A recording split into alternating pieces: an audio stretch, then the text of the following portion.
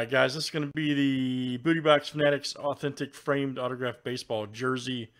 Uh, this is going to be fill A for 102. Good luck. The breaks currently have five left, and there is two spots in fill B. We're going to add two in here, guys, two full spots to the autograph frame baseball jersey. Good luck. Top two after seven.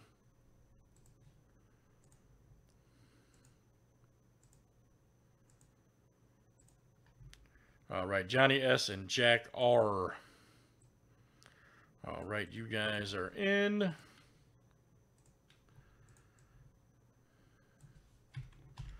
And like I said, guys, that is at